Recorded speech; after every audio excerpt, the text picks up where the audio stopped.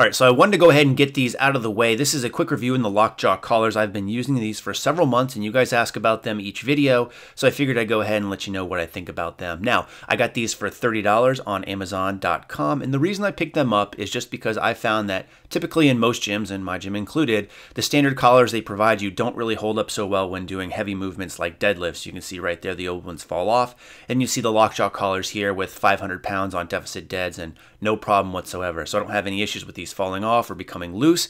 And again, for 30 bucks, can't really go wrong. Throw these in your gym bag like I do. They also make a pro version, which is like $6 more and has a locking mechanism on them that I don't really find necessary. Hey, what's up everybody? Welcome back. Brandon again in the car outside the gym. It is a jacked and tan day and I thought I'd take this time to just explain a little bit about this program because I think some of you are misunderstanding some of the aspects of it. So the last video I put up was a combination of a bench video and a squat video I'm getting lost right here in this, this song. I'm not hip with the rap game, so I have never heard this song. Tyga and Young Thug, Hookah tangent over. But anyway, so for my bench day, it was actually a lot of volume and it's not always that way. And then on my squat day, I had mentioned I did like 20 sets of squats.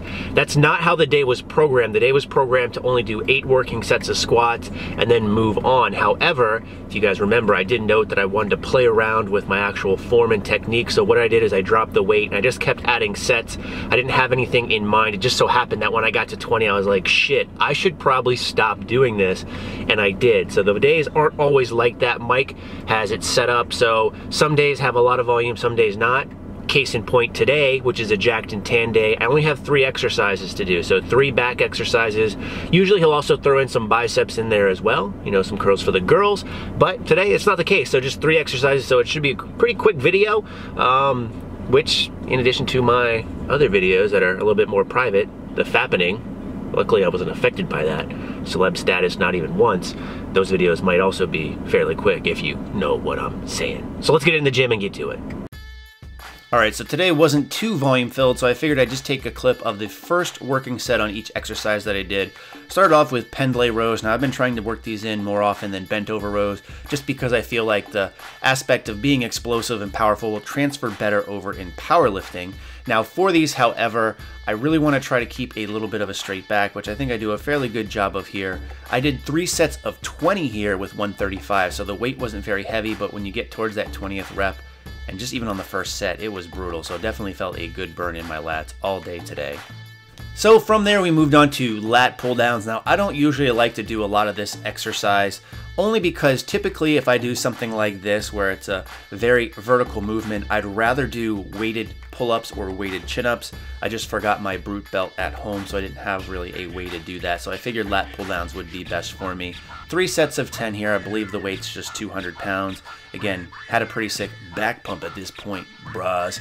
But what I've found for me personally with lat pull-downs, I like to use somewhat of a medium grip, so right where the bar starts to bend is where I like to wrap my mitts around. Then for this, for these self-proclaimed Campbell rows. Wipe the bench down, then I figure, you know what? Safety first. Let's wipe the wiener down too. You know, gotta be safe. Gotta use that protection. But we moved on to this again. Three sets here, 80 pounds, 10 reps each. Now this is less weight and less reps than what I'm used to doing.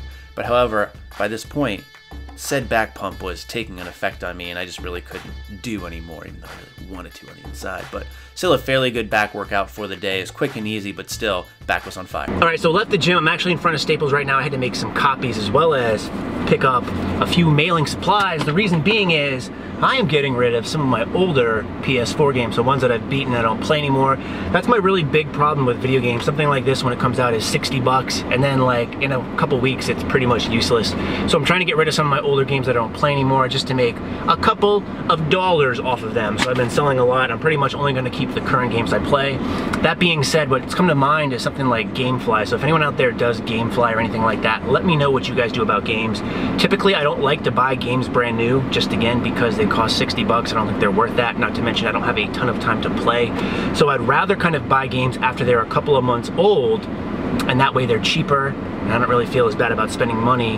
But the problem with the PS4 and even the Xbox One is there's not a ton of good games out there and there's not a ton of games that have been out for a long time that are any decent. So there's a problem. So if you use Gamefly or something like that that's similar, let me know. Um, otherwise, I guess I'm just fucked. That's why I gotta do all the shitty YouTube ads. Semi-serious. But gonna run to the post office, mail this out, and then uh, we'll talk to you guys in whatever the next clip is, which I have no idea what that's going to be. I will say, and I'm sure I said it in the commentary, even though that workout we just got done was pretty short, three exercises, anywhere from 10 to 20 reps, beat the hell out of my back. Those back pumps are no fucking joke. So we'll talk to you soon. All right, back in the car, and actually not outside the gym, hence VNet crew checking in. I'm actually outside the dentist's office, so I have a dental appointment today. That six month teeth cleaning. Not a very pretty grill, I know, but it gets the job done. It lets me eat on them gains. So we're gonna get this done, uh, and because I'm at the dentist and it's kind of in the middle of the day, I get to work from home today. Got some video editing to do. I'm probably gonna hit the gym during my lunch hour. We got some chest work to do, not as volume filled as last time, but this will be good. So I'll check in with you after the dentist and before the gym. Got this pre-workout over here marinating, ready to go, but probably not a good idea to go into a dental office where you have to sit still and they clean your teeth hopped up on pre-workout. So we'll check with you soon. So I lied, and I'm sorry. You didn't see another clip before the gym, but what we started off here was with some speed work. So the goal today was to do six sets of three, and I decided to keep the weight at 245 again, just really trying to move the bar fast. And I only recorded the first set on these also just because since the weight's not moving up, figured you guys probably just don't want to see it. But it felt pretty good. After those six sets, we moved on to four sets of three with the slingshot, added 50 pounds, so this is 295. Again, just showing you the first set here. This went pretty well. I think I probably should have moved the slingshot up just a little bit more so it was more on my elbows, but again, things were going pretty good. From there, I moved onto a superset of seated dumbbell shoulder press and some face pulls. Here you see my first working set. So we did four sets of 10 with 60 pounds. Yes, I do train shoulders. I just don't normally film on those days only because I don't feel like it's really that necessary. But look at that face, trying to keep it calm and cool, collected. And then said face pulls, didn't feel like showing it, so